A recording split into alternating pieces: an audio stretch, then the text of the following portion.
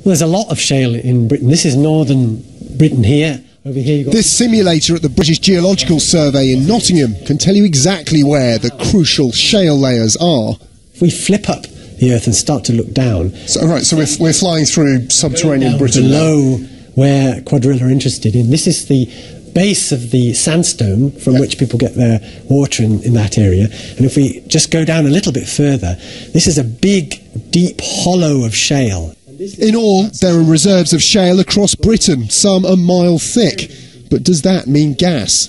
The shale itself, there's a lot of it, but just having shale doesn't mean there's loads of gas because the shale has to be uh, has to have a lot of carbon in it, has to have been warmed up or cooked up to this sort of temperature that makes it release the gas. And so the shale, although we might have a lot of it, doesn't mean there's an awful lot of gas in the country.